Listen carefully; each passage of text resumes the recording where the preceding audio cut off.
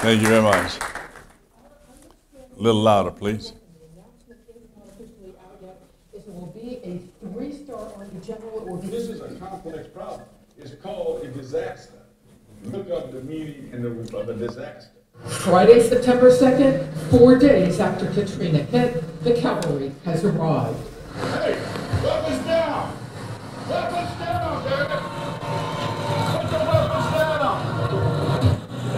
all I have to say this morning is uh, hooray for Honore. This guy uh, seems to be the perfect guy for this job. Seeing him in the streets of New Orleans, telling them to put their M16s down for gosh sakes. And you know, just you know, let's get some tension out of here. Let a little steam off, please. You know, you saw Honore yesterday doing really sort of almost symbolic things, but uh, at one point, our Barbara Starr, who was uh, right along there with him, uh, witnessed him come up to a mother who had twin uh, babies, and she was struggling to even hold on to them. He, he took the babies out of her arms, uh, gave them to his soldiers, and arranged for them to immediately be medevac uh, to a ship offshore. Now, that's just one person, but what it, it sends a message that they understand uh, the problem. Of course, the whole his whole point about having the soldiers put their guns down uh, to again reinforce that they're here to help. They're not here to uh, you know intimidate people. Well, I'll tell you where blame doesn't lie, and that's where the straight shooting, take charge, John Wayne dude who never got stuck on stupid. He was exactly what the Gulf Coast needed right after Hurricane Katrina. Don't get stuck on stupid, reporters. That's BS. I will take that on behalf of every first responder down there. It's BS. That's right. We'll never forget General Russel Honore's one-liners, but we'll remember what he did for the hurricane victims even more. When President Bush assigned this Louisiana-born general to command Joint Task Force Katrina, Honore knew this would be one of the most difficult missions in his career. But he was ready. He became an overnight hero. Charlie. Thanks, Charlie. Uh, well, good morning. It's great to be here. It's an honor to be here. This is about my third or fourth opportunity to come to this great institution to speak over the years. I had the opportunity to live in this town for almost six years. Uh, little known to many of you, I commanded an outfit called the 1st United States Army. I was the 33rd commander. The first commander was a guy named Blackjack Pershing, and uh, in World War II, commanded by a guy by the name of Omar Bradley. So uh, you wouldn't know about me in that lineup, uh, but it's great to be here today. I uh, probably didn't have the grades to come to Georgia Tech, but I had a lot of Georgia Tech grads work for me over the years. And it's uh, great to be here. It's a deep esteem honor, and uh, I see our future officer corps sitting over here. I thank y'all for coming and uh, recognize a few veterans in the audience. Uh, I want to talk to you today about leadership and preparedness in the 21st century. The thing about preparedness is it's uh, uh, talked about after things happen, of what we could have done, should have done, and uh, we kind of lose our place sometimes with an understanding of what happens and how they happen, and we we get this idea that we can control everything. And ladies and gentlemen, we need to get over it. We cannot control everything. There's a level of preparedness because regardless what we do and what we build as human beings, on any given day, Mother Nature can break it. It's absolute break it. And our uh, uh, continuous struggle is how we can beat Mother Nature uh, at her game, if I may use that as a metaphor. On any given day, Mother Nature can break anything built by man. Uh, just this past year, Mother Nature came through here with a little cold weather and some ice and took one of America's greatest cities and did what? Shut it down. Just shut it down. Now, there are things we can do that uh, can prevent the impacts of Mother Nature work. We can start off by doing simple things like listen to the weatherman. Because we understand in my 37 years, three months, and three days in the military that hope is not a method. Uh, hoping that it will go north of us or go south of us is not, should not be a method of doing business when you got a metropolitan area of six to seven million people. uh, and you got trucks and airplanes coming in from all directions. I say this not as a criticism, but as an observation. There are many things that cause that paralysis in decision making before, during, and after an event that goes deep into the history of this state and many other states. Nobody intentionally woke up this morning and said, We're going to screw this up. We just many times failed to act, as was the case in uh, Katrina. Uh, but uh, talking about preparedness kind of remind me of a story. I do get to go around and talk about leadership around the country. I was in Houston a couple of years ago uh, talking at a dog food convention. And uh, it was an interesting audience. I mean, I've talked to fence conventions and toilet maker conventions and water maker conventions and engineers. Uh, the esteemed design, build, architect, and engineer convention, national convention, spoke at all those. But this, speaking of this dog food convention, kind of remind me of what I'm trying to sell to you today about preparedness. Uh, we went into this session, uh, big old audience, kind of looked like the opening of a Garth Brooks concert. Music playing, smoke coming out of the floor. The CEO come across the stage and everybody stand up and it's like a rock star. And uh, I need you to participate for this thing to get the effect. So I'm going to change the name of the dog food company and I'm going to play the role of the CEO for a minute. And he comes across and everybody quiet down and all the troops are clapping, boy, and he gets them quiet down. He says, uh, the name of this dog food company we're going to use is ABC. You with me? Y'all got the theme. Y'all smart people. Okay, y'all explain it to the Marines because uh, they'll get it the second time around. So he asked, best Marine Corps in the world. There's one in the room. There's always one. So he, asked a question. He says, uh, and we'll call it the ABC Dog Food Company, okay? You said, who has the best dog food? ABC. Who has the best price? ABC. And boy, then the next question he asked, who has the safest dog food? ABC. And everybody pulled a piece of dog food out they had given them and they popped it in their mouth. I said, damn. this guy got these people fired up. And then he does what most CEOs do. He threw the slide up and showed the income stream, the return on investment. And ladies and gentlemen, that thing was flat line. It wasn't going anywhere, it hadn't been anywhere. It was a loser.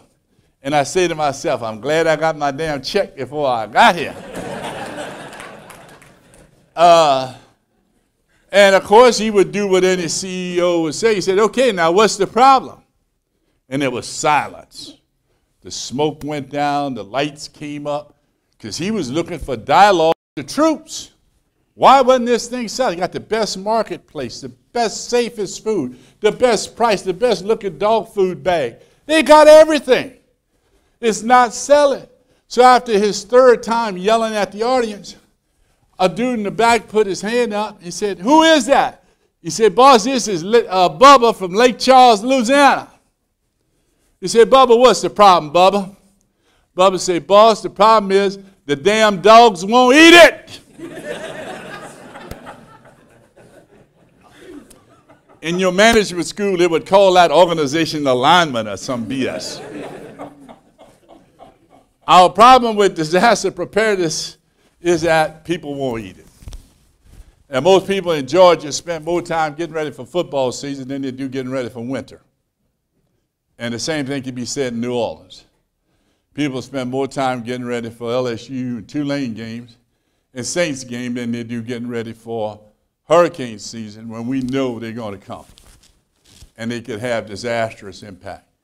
Uh, the situation as we saw unfold in New Orleans, we had two things come together the power of Mother Nature against a city of about a half a million people, and the storm won. It broke the levees around a city that is below a sea level. Uh, it flooded two, uh, our two largest hospitals. Now, to you engineers and architects, uh, some of this stupid come your way uh, because everybody will remember the name of the mayor, but nobody remember the name of the architect and the engineer who decided to put the generator and the power system in the basement of the charity hospital. Now, who in the hell would do that? Hello. And when you go back and you ask the question, you say, well, who decided to do that? And you go see the architects, the architects say, it wasn't us, the engineers wanted it there. You go see the engineers and say, well, I just want to tell you, we know better. It's the damn CFO decided to put it there. it was about money. We lost those two hospitals. Uh, next year, we hope to have those two hospitals open at a cost of $1.3 billion apiece. Those hospitals could have went well into this century and beyond, like we do with buildings around here, reshape, remodel, rearm.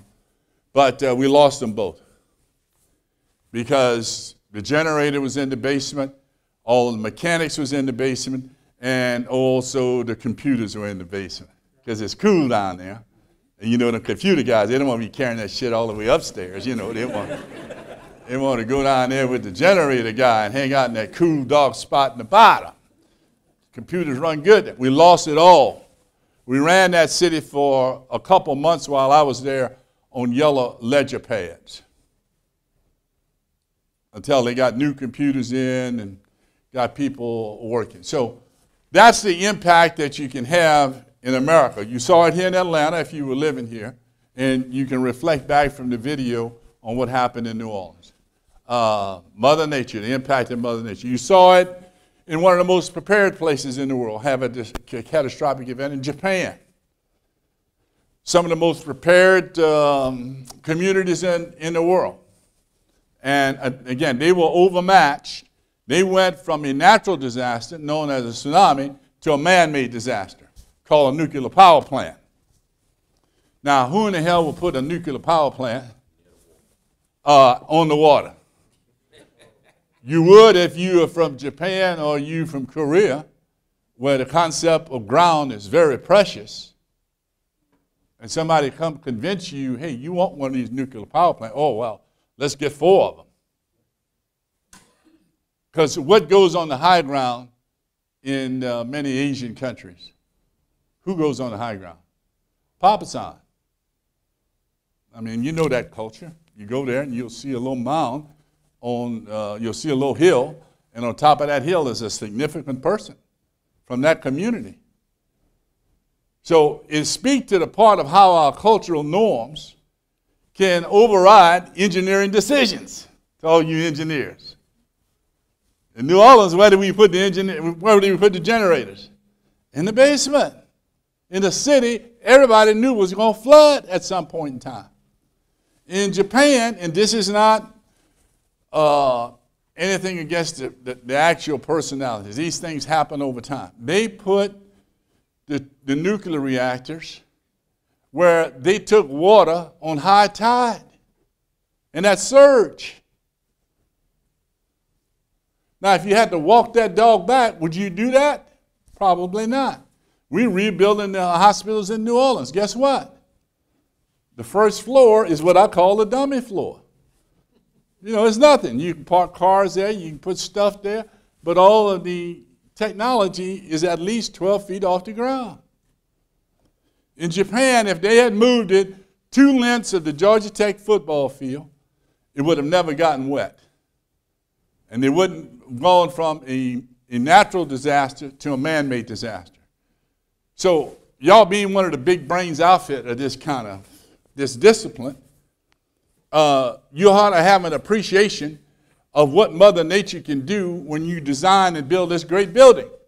Now, go around the world. Uh, if you look in there in that deck, you'll see a map of the United States. Would you pull that up for me? And your name again? Charlie. Charlie. Charlie is my new best friend. You'll see a map in there, Charlie. Bring that map up. Well, since you're going to do that, Charlie, keep going. We'll come back to that one. Faster, Charlie. You'll see a map right there, Charlie. To those of you that are geographically challenged, this here's a map of the United States of America. That big red thing in the middle is the Mississippi River. We talk about floods. Floods destroy more homes every year than any other event in the world. The power of water. Uh, a couple years after I retired, I was doing a little analyst work over at CNN headquarters. There was a flood out in the Midwest. Won't mention the name of the town, but the last name of the town is Falls. And I was talking to a professor there, uh, whom I had met uh, sometime after Katrina. And he said, Well, General, I just don't understand how it flooded here. I said, Well, Professor, at your university, I'm looking at the Google map, there's a river run through it. I said, What do you look, see when you see, look to the east, Professor? He said, I see high ground. What do you see when you look to the west, Professor? He said, I see high ground. I say, That's a damn valley.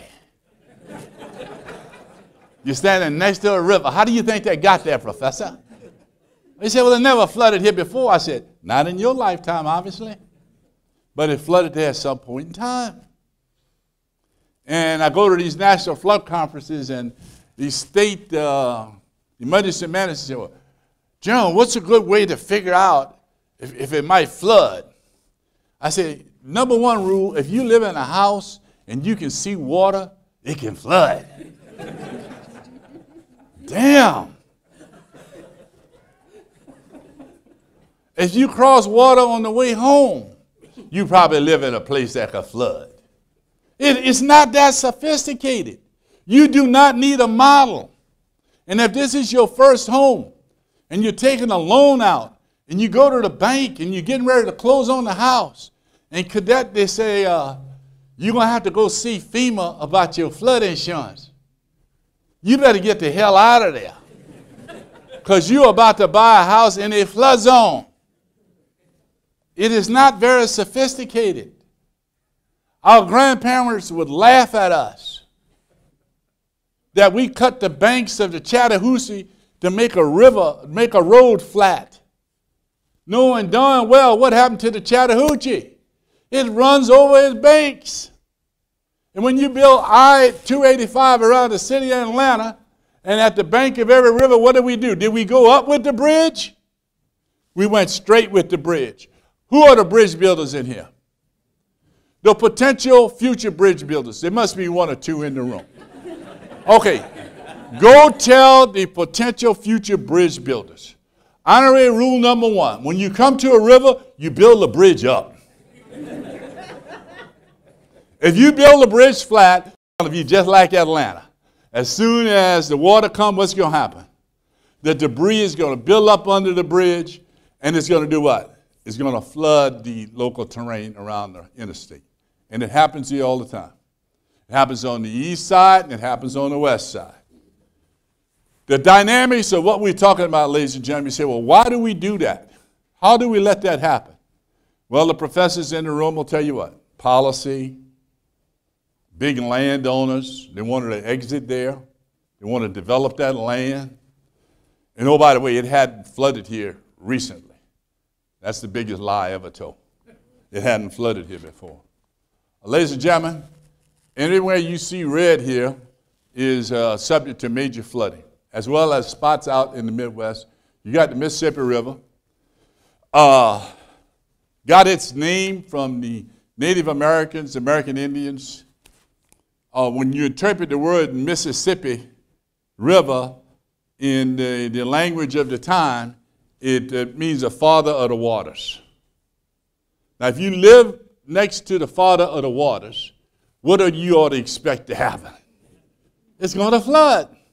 1927, go back 1912, 1936, the evolution of uh, when we put our levee systems in around the Mississippi River, going all the way as far north up into uh, Missouri, uh, St. Louis, put that levee system in to keep the river from flooding. The great uh, plains are coming down the Mississippi Delta. What impacts that had? Well, it's had significant impact. It's created development all along. You'll see all many of our major great cities. One thing in common, you may not see it on this map, is that there's a river there. You can go to Austin. You can go to Fort Worth. Uh, because our ancestors, they chased water. Water was key not only for drinking, it was key for industrialization, and it was key for the biggest thing, transportation. And where the water was, the cities went. Where the cities went, the railroads went. You know the rest of the story. What happened in New Orleans? The city was underwater because the levees broke. Uh, it happened before, and it could happen again. You think about what happened in New Orleans with a population about a half a million people. What do you think would happen in Miami? How many people live below uh, Daytona Beach in Florida? You imagine. How many people you imagine live there? Uh, around 10 million. That infrastructure was built around 4 million. Uh, got two major roads that leave there. What prevents a Katrina from happening in Miami? Is there something out there that could prevent it from happening? Uh, go read about the flood, the storm of 1935 called Hemingway's Hurricane. It came through here. It overtopped Key West. Uh, it drowned 200 veterans from World War I who was out there working on the railroad between Miami and Key West. Very tragic event. And you might say, well, why were those veterans there? They were on a project called the WPA, building a railroad for this uh, great uh, businessman and the collaboration with the city of, with state of Florida, putting uh, rail service into Key West. The storm was coming. They got the word the storm was coming. Uh, the governor of Florida said, We'll take care of the vets. The guy running the railroad said he would do it. Ended up, nobody did it. 200 of them drowned on barges right off the coast of Florida. So we have done stupid before. And we can go back into further gen- uh, earlier generations where we have failed to act before disasters happen. In the case of New Orleans, we had an 80% evacuation of the city. 80% actually evacuated. The part you heard about was uh, 60 or 70,000 that you saw unfold on television that didn't evacuate. But we've got to find a solution to that, right? And uh, the next piece I want to talk to you, go up to the piece on leadership, you'll see General Washington in an IBB. To you engineers, the IBB is an itty bitty boat.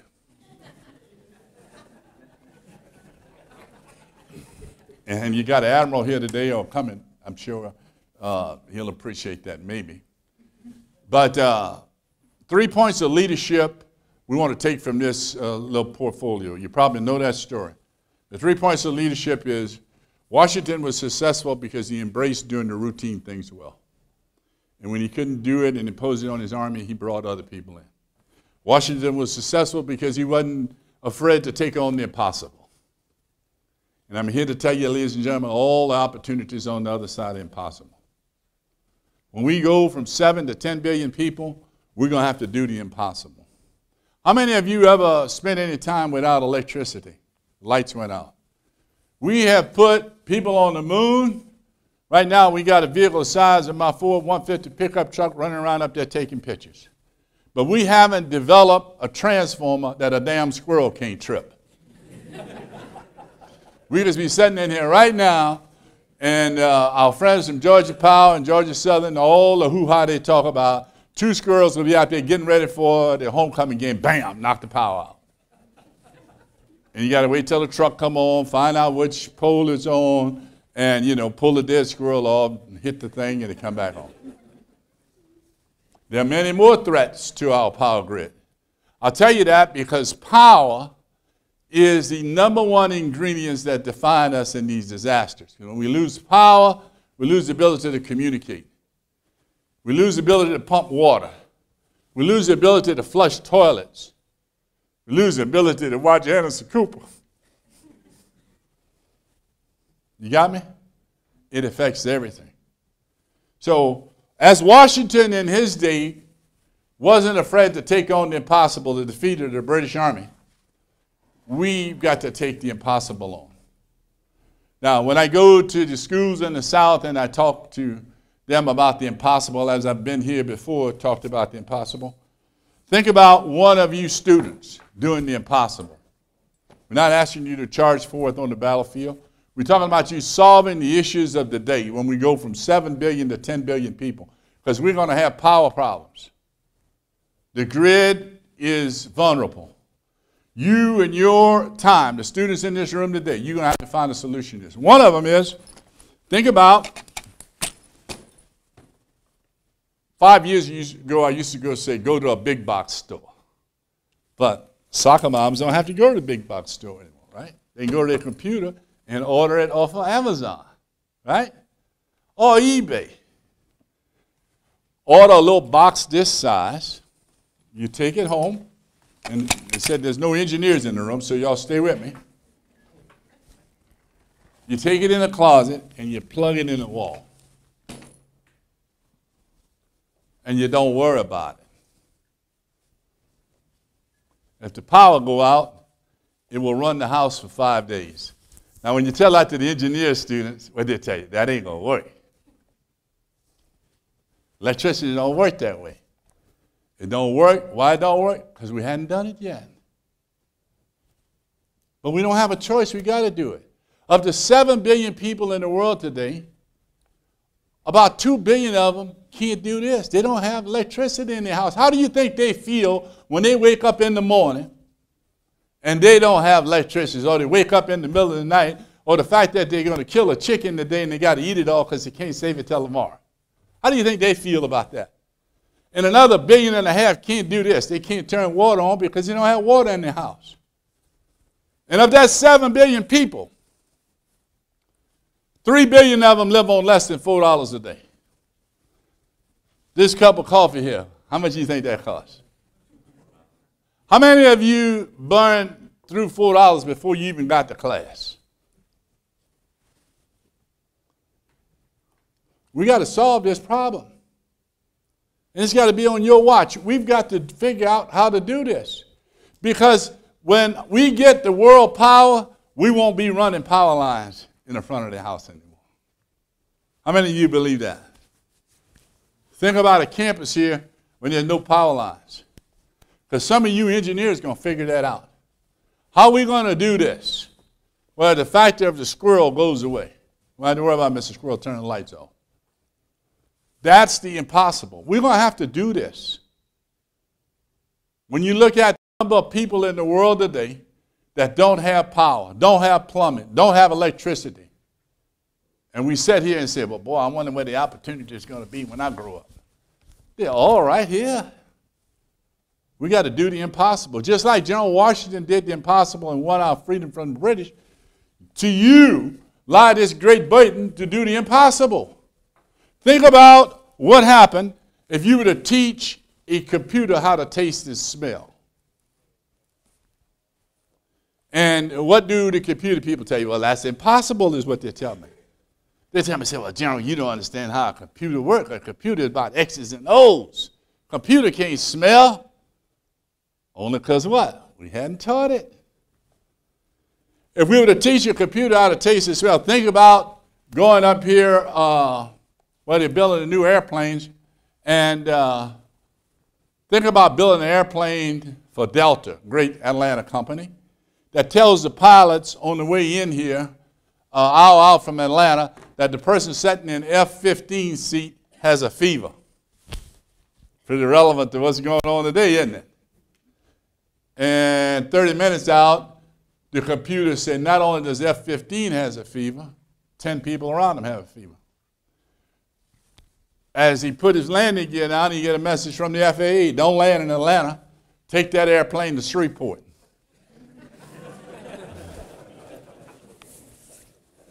Plane lands in, in Shreveport. The flight attendants give everybody a little stick. This isn't invented yet either. Put it in your mouth. If you come out green, you get off the plane. If it comes out red, you stay on the plane and we ship you to Utah. Dugway proving grounds out there for further analysis. This isn't invented. This is the burden on you, big brain people. Y'all got to figure this shit out.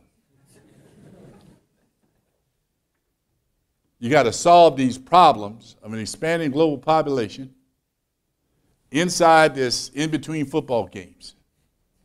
Now, y'all got to figure it out because we can get lost in the moment. We got to solve these problems. Back in the day, General Washington solved a basic problem. He won our freedom, him and his veterans. Today we got to solve this problem associated with what? Going from 7 billion to 10 billion people. And ladies and gentlemen, that's the opportunities. And think of the airplane itself. How old is the airplane? How many years? 100 what? Take a swag. 112. When it was first developed, how did they do it? Two old boys, they got some sticks, right? They got some cloth, tied all that together, went jump off a damn hill. And when they did it, what people say? Them boys crazy. If God wanted us to fly, what you done? Give us some wings. Some of the stuff you're going to do to solve this, people are going to call you crazy. And if you're not a little bit crazy to do it because you're looking around the corner, you're solving problems. All the engineers will tell you you can't plug something in the wall and run the house. We don't have an option. We will never get uh, high transmission power lines throughout Africa. But you know what? They can skip that because of some of you in this room will create a technology where they don't need it. Many people in the world, they skip what? They skip the hardline phone. They don't have it. How many of you have a hardline phone where you live? You know, you don't even want them. Then what is that? They skip it. The technology that's required for this new normal as we go from 7 to 10 billion people is not an option. We've got to, we've got to prioritize these fixes, and power is one of them. Water is the other. We got less clean drinking water today than we had yesterday. This is not about a political party. This is a reality. We're going to have less tomorrow than we got today. You buy into that? How many of you believe that? And there's probably some non believers who say that ain't true. All you got to do is live in Georgia. If you've been here a while, you've been through the drought. You've been through the fact when the Chattahoochee was sucking mud, right? And we already got a water wars. I'm here to tell you, future wars will be over water, not oil. Participate in two of those. Future wars will be over. We got a water war going out in the Midwest. We got a water war going on in the West. And at the same time, we got a water war going on with the energy business. That's the dynamic of the new normal. Now, if you go to that culture of preparedness, if you would, uh, the one that you were shooting through, yeah, just open it right there. There is a solution. Uh, go ahead, open it up all the way. Faster, faster. There you go, faster. Faster. I think this man is going to make a good Marine. Go back. Disaster happened. We have gotten pretty good on this side. All the governors know you got to have a news conference. Right? You got to declare you're in charge. Right? And right behind you is your National Guard general, you understand? And your police guy, and your doctor, and uh, local university president. You know, you got to do the news conference. You got to state you are taking care of the people. Ladies and gentlemen, we are getting very good at this. My projection is we got to get over here. We got to get to the left side of the disaster. There are things that the engineers will tell you the most possible, the most probable, and the most dangerous. If you had time, which one would you work on? Y'all can answer that question later. Possible, probable, most dangerous. I tell people if you're short on time, do the most dangerous. Because when you go into that, you will work your way through some of these other issues that, because going into a disaster without a plan is a problem. Going into a disaster with a plan that you're not willing to change is a bigger problem, because then you're stupid. Because the plans never survive contact with what? Reality. So you got to adjust them along the way. It's like the CDC and the public health law dealing with Ebola. A little bit of that going on. Good people.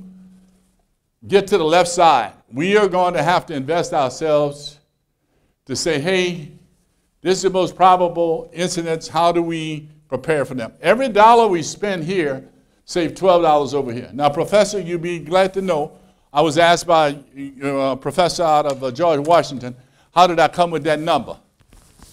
And I said that I'd given that speech for about three years. I said, well, Oh, somebody finally asked, how did I come up with that number? Uh, $9 is what my number was. I said, I made it up. Every dollar you spend on preparedness, back then I would say $9. He said, I'm going to look at that, General. I don't think you're right. And he came back a year later, he called me and said, Hey, look, you were wrong. Because the actual is for every dollar you spend on this side of the disaster in preparing, you save $12 over here. So since then, I've had a point of reference given to me by a professor. And what am I talking about? If you don't put the generator in the basement, you don't have to build a $1.3 billion hospital for which you got to borrow the money from the Chinese to build. Y'all getting into me now? Because you get a little bit of finance here. You got it? Okay? We got to get to the left side of disaster. If you do not clog up the river, the Chattahoochee and the tributaries, when the floods come, you're not going to do a major insurance payout for all these uh, small villages all around Georgia you've built in these valleys with all these houses against the uh, side of the, uh, the ridges. And when the flood comes, what happens? It takes them out. We got to get to the left side of the disasters, is what I project we're going to have to do. We're going to have to invest in preparedness. We're going to have to design bill looking at most probable, most probable event. Most dangerous event. What's the most dangerous event in Georgia? Some of you might have thought it might have been a nuclear power plant gone bad. How old is the youngest nuclear power plant we got in Georgia that's active? They're close to 30 years old. How many of you drive a car that's that age? Good. he lying. You might be a professor and driving a 30 year old car to California. Yeah, he's a rambling reject from Georgia Tech. That's what he is.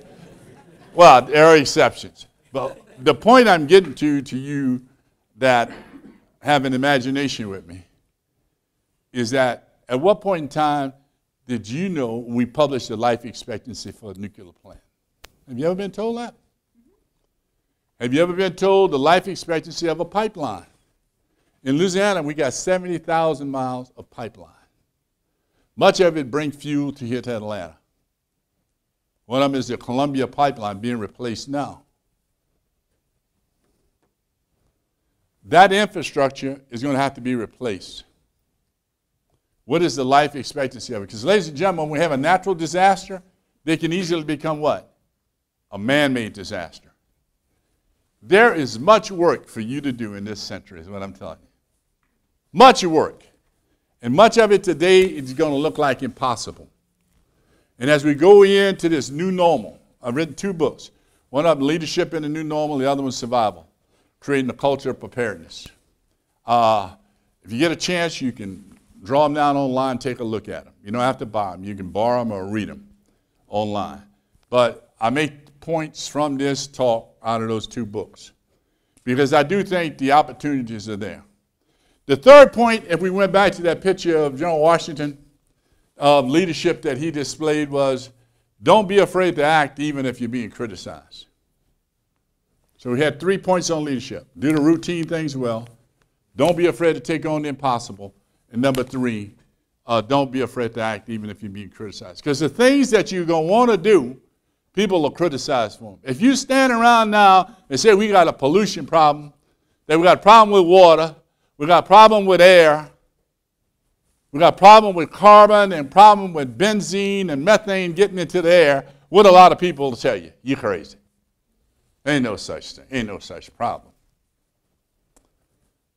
But the problems are real. We got less clean water today than we had yesterday. Now, a solution in the room might be what? How do we go out and clean that water up?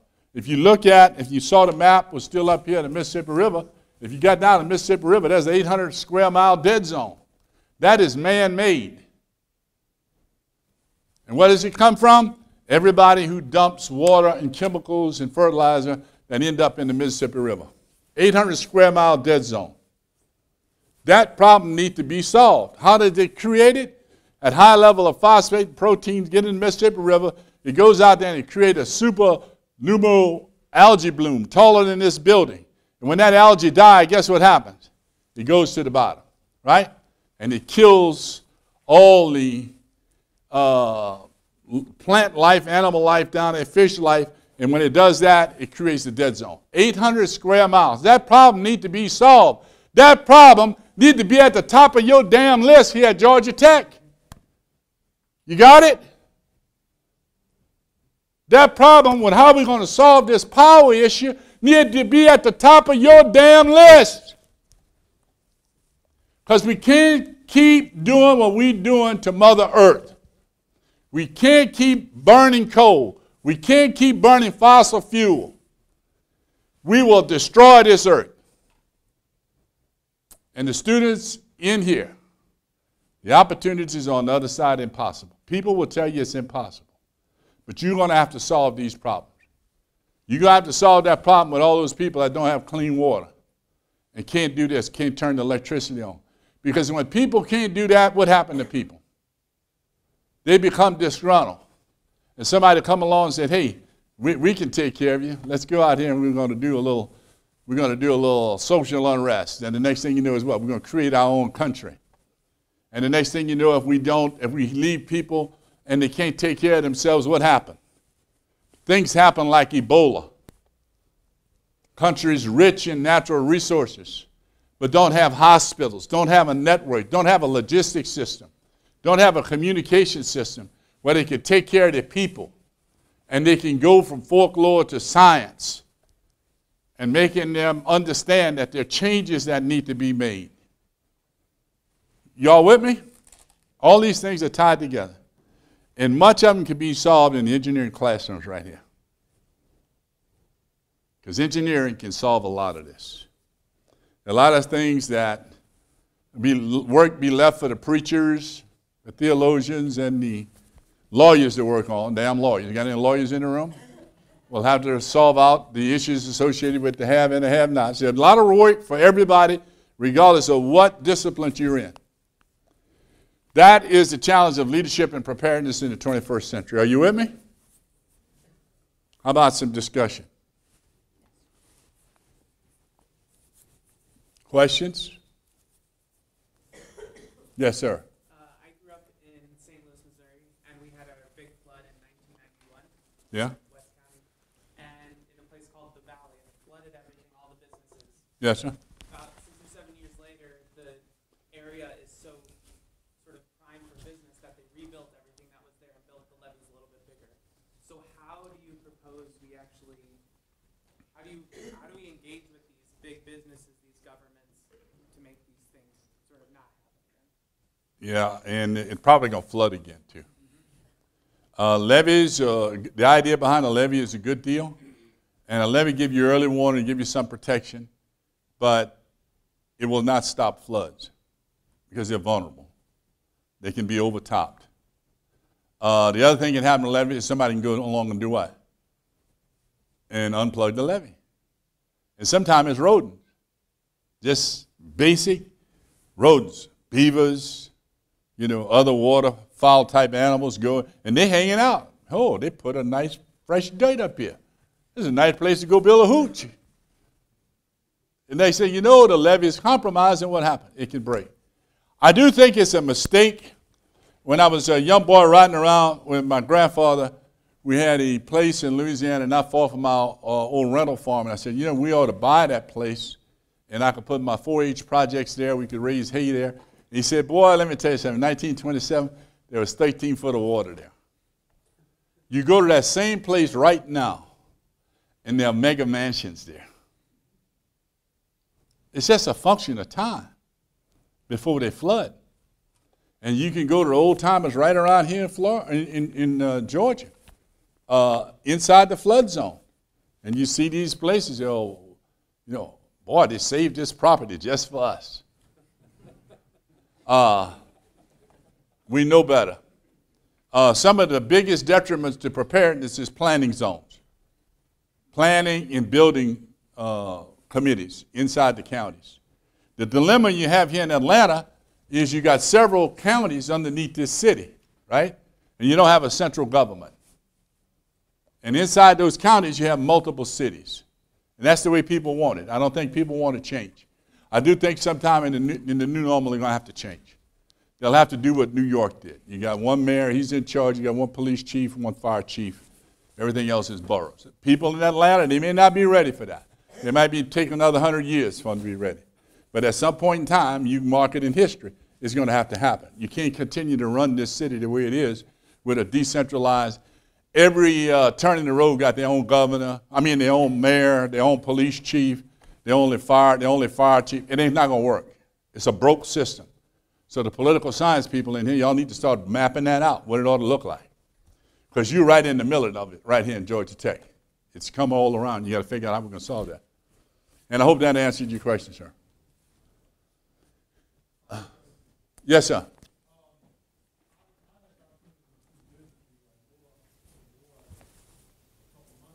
Yeah.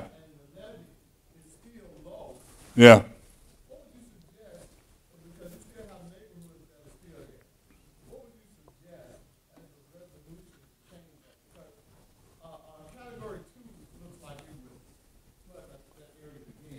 So what would you suggest would be a better solution to a redundant problem such as the lower ninth ward? Well, the Lower Ninth Ward is, uh,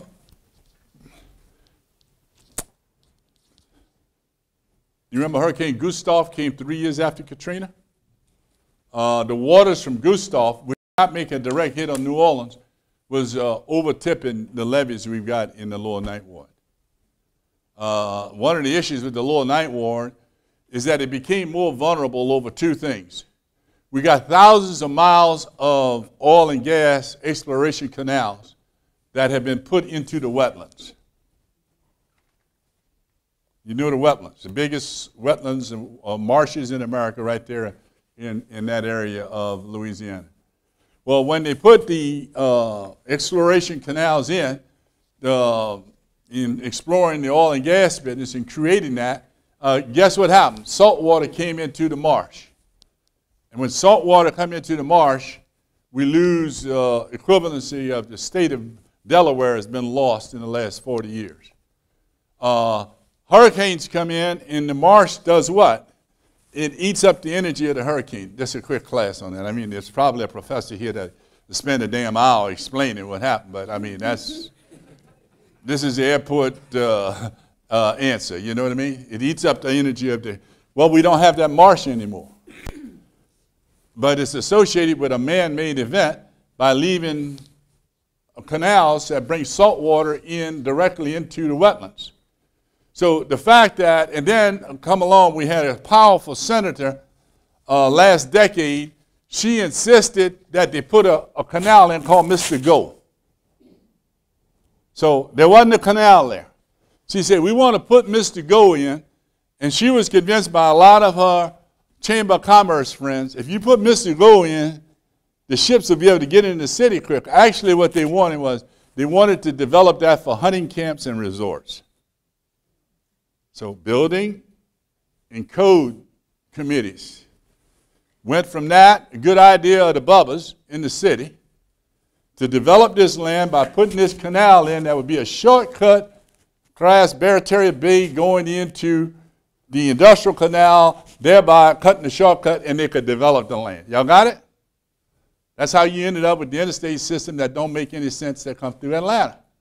This was a political decision. Good engineers would have not designed this piece of shit to where it is. it was done this way because of politicians who wanted to develop land. So that's the problem you young people are going to have to correct. In the case of the Ninth Ward, when they put Mr. Go in there, uh, the way it happened was the senator held up the promotion of all the Corps engineer generals and held up the Corps engineer budget until they said, okay, if you want it, you're going to get it. Ships never used. Go. Why? Because the ships would try to go down it, and the ship captains would get in there, and the ships would just go crazy because of the current, the weird current that existed there. So it never got used, it never got developed. But it was a V line for Katrina to get into the ninth ward. You got it? That's the quick answer. So you said the night ward. The dilemma of the night ward was we had time to evacuate. You saw we picked the babies up on the street. We got socio-economic issues in New Orleans. When we picked those babies up on Friday, that's the first time I really got angry. I've been there three days. Because the question to me was, how did these twin babies end up on the street, the mama by herself with no daddy? How did that happen? By then, I'd been in the Army 35 years. I kind of figured that out, but I, this, this really got me upset. We got to deal with that. Because when, you, when I went off and talked to the Children Defense Fund, they explained this to me. They said, General, those babies, they have a 50% chance by the time they're 14 to be dropouts from school. They're not going to get a fair break.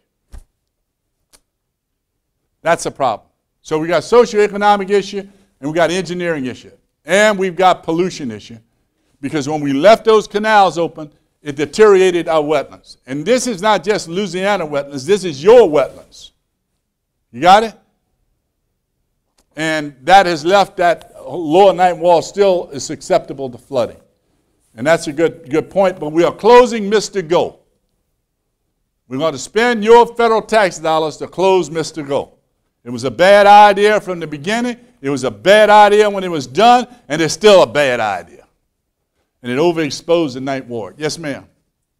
I have a question. I'm a survivor of Hurricane Katrina, and we used to talk about since Hurricane Betsy and Camille, now this has been forty years, that they could have planned to, um, make some changes, especially with the levee. Mm-hmm. And nothing has been done. We had had several misses before Hurricane Katrina came into the city. And so, we just couldn't understand, you got this big gap, we have forty years to think about how you was gonna restructure the city, even though they knew we were below sea level and nothing has been done. And that's why I could not see it. Well, the, the way that worked is uh, we got the Corps engineers. Normally, usually, general, a pretty good outfit. They build stuff based on what politicians want, what they will pay for, and what they'll approve. They build the projects and they turn them over the way our government works to local levee boards. In New Orleans, the levee boards were cronies of the governors. The New Orleans levee board literally was running a golf course. And they would take care of each other's yards. And they created hunting camps. Not for everybody to go to, for what? It was just a corrupt system. Since then, the citizens of New Orleans have created a competent levee board with engineers on it, hydrologists, and you know people who kind of know what they're doing. I think they know what to do now, but for a long time that was overridden by political favors. It, it's not an excuse. I'm just telling you where it was. I was off in the army. and when I was in Louisiana, I wasn't invited to the room, if you understand what I'm saying. That's a socioeconomic issue that, that caused that to happen. And we spent $14 billion. That city could still flood again. You ought to know that too. Just like Atlanta can flood, parts of it can flood again. Yes, ma'am. Um, so what do you think most constrained the government's ability to respond to Katrina? Was it an issue of having the resources or knowing where to put the resources or just not enough time to get them there? All of the above. The mayor called for the evacuation of the city on Friday. The mayor, oh, by the way, is in jail now. He called for the evacuation. Now tell me who ought to be in jail. You answer this question on your own. And who else should be with him, in other words. The mayor called for evacuation on Friday. The school board don't work for the mayor. The school board said, we got a Saints game tonight. It said, if we start evacuating, what the people going to do with the children? Because the Saints organization said, hey, we having a game. The storm ain't coming till Sunday. This is a preseason game. And all the hotel operators, what did they say? We got these tickets sold. This is a lot of economic activity. So a lot of people that could have left Friday didn't leave. Because the Saints game. is coming on Friday night, preseason game. Saturday, 70 miles away in our state capital, guess who's playing football? LSU. And I'm convinced in the Southeast Conference, if you want to take this part of America, do it on opening football season, and the Russians could come in and take all this shit. Because everybody with a brain is on their way to a game or at a game. So we had that paralysis of decision because people said, well, if the Saints playing football, why would I want to leave? We can get in our car and leave tomorrow. And the people at LSU said, well, we're going to have the game Saturday morning against uh, Backdoor State, you know, one of them throwaway games. You know, it's a practice game. We got to have the game, so they had the game. When you take the capital city and you fill it up with football uh, people, where do the people in New Orleans go? The storm is coming to New Orleans. They got to go to Memphis. They got to go to Jackson. That created a dilemma for the city of New Orleans. Then on Saturday, the president called. I was on the call. I was right here in Atlanta at Fort Gillem. That's my job to respond to storm. President of the United States on the phone. He's talking to my boss, Keating, in Colorado. He's talking to the Pentagon. They're all on and said, hey, he said, I got a call from the, the uh, director of the Hurricane Center. He said, this thing is coming, and it's coming strong, and it's coming somewhere in the Gulf. We knew that Saturday. And he said, it looked like it's coming to Louisiana. We're going to declare a national a disaster right now declaration, a presidential declaration. First time it had been done in modern times, natural in, in presidential declaration. Happened on Friday, Saturday. Sunday, you know the rest of the story, right? People with cars left. We ended up with 60 or 70,000 people in the city. Many of them went to resorts of the last. If you are poor, how much money you got on the 29th of the month? So how do you get out of town? That's a part of the dilemma we ended up with. So a lot of these are socioeconomic issues, but they can go back to, since you're in engineering school, the engineering problems.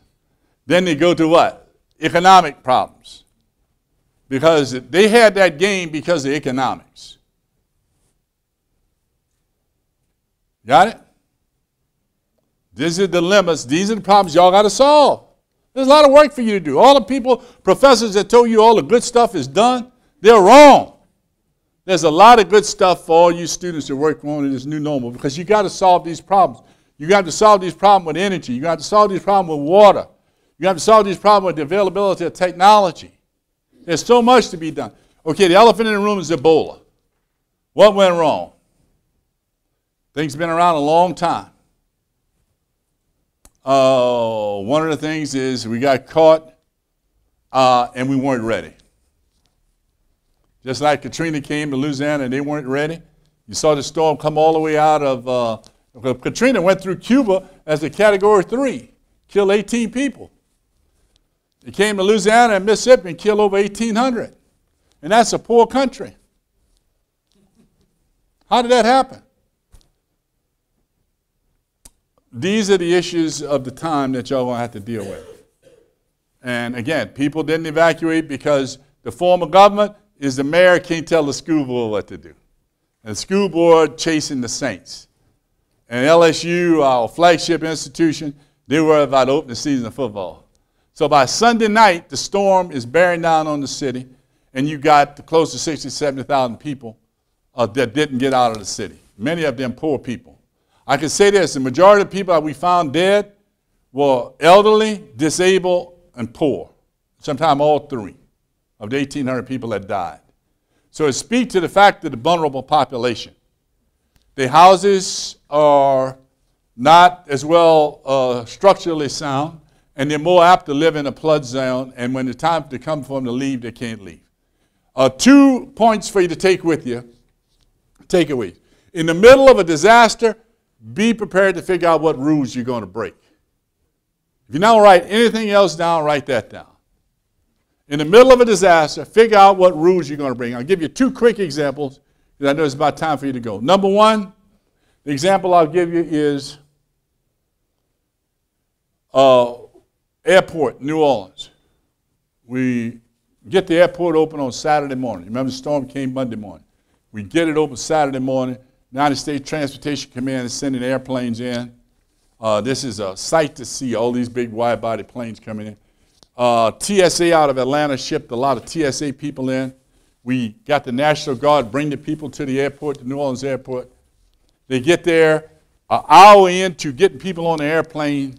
We're getting them on. It's a great sight to see. I'm getting pictures on my Blackberry. I mean, this thing is happening. I get a call from my major, Major Parks. He lives here in Atlanta. He said, Boss, we got a problem. I said, What's the problem? He said, The TSA people say uh, they can't handle all these people. They're going to have to bring some more TSA screeners in with some more wands. They can't handle the load.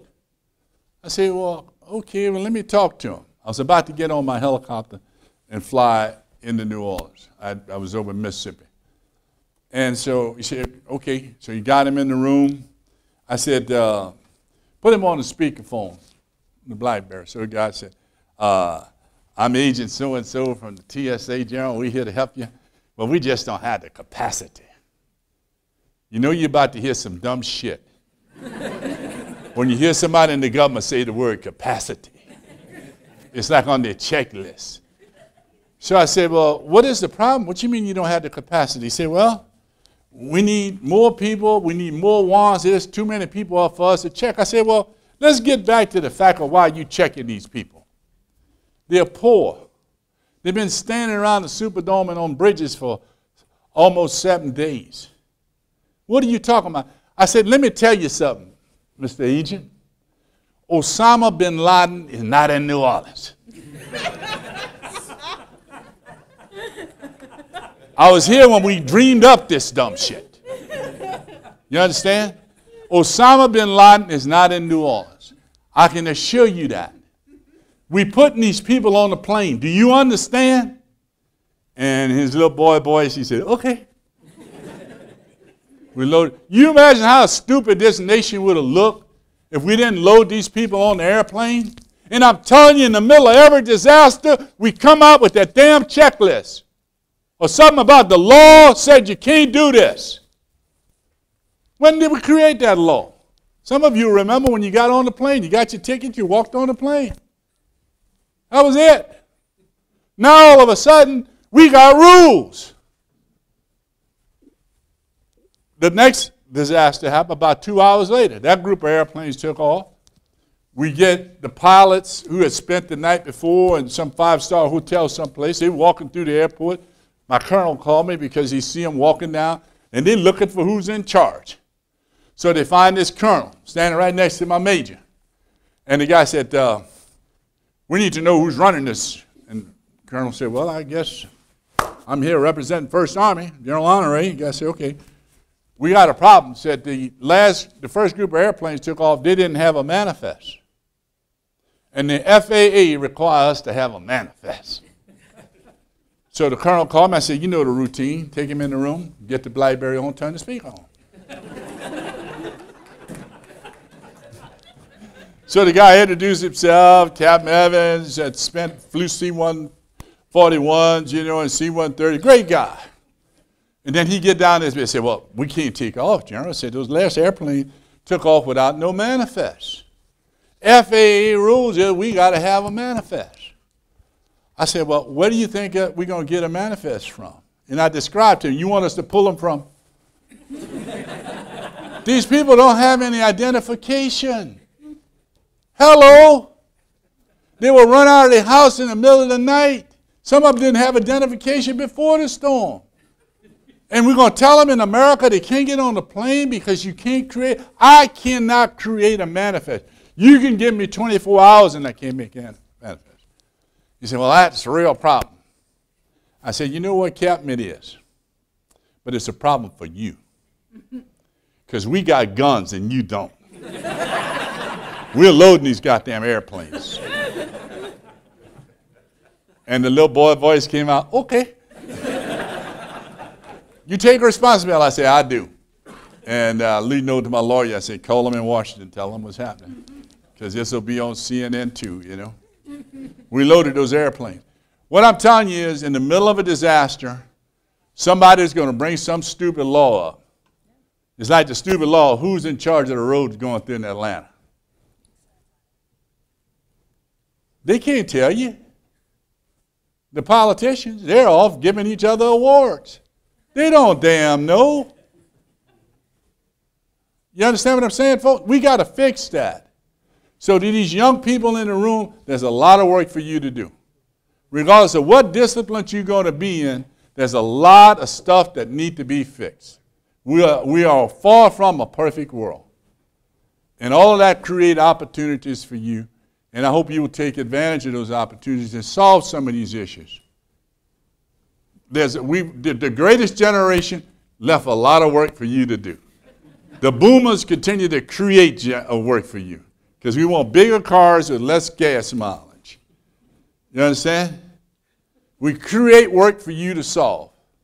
Whether you look at it from a medical perspective, disasters, from the amount of energy we use and the impact that have, to how we've engineered our cities, uh, you got a lot of problems to fix. And I hope your professors, they, they, they will guide you through that because you got to fix these problems. And it's not an option. Because when we fix them in this country, we'll, it'll be a, a lead to fix it in other countries. And this Ebola thing, it's a Katrina, and I don't mean that to talk administration, but it's a thing that has happened that at the source of it, that we're losing the war. And we're losing the war over the last three weeks of arguing over dumb shit here in the United States. You understand? Like the Texas debacle. They weren't ready. As opposed to saying they weren't ready, they try to say, well, you know, we Texas. We doing what the CDC's saying. You know what I'm saying?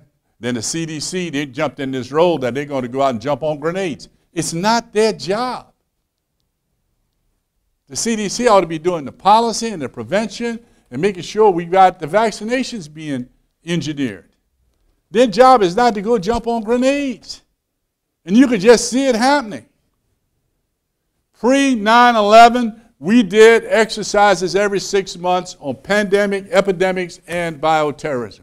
9 11 happened, and what did our national focus become? Counterterrorism. And that's where the money went. We spent $60 billion a year in Homeland Security. $60 billion. So there's a lot of work for y'all to do. And a lot of these solutions can come right out of this great institution. Because I do think y'all put academics before football. God bless you.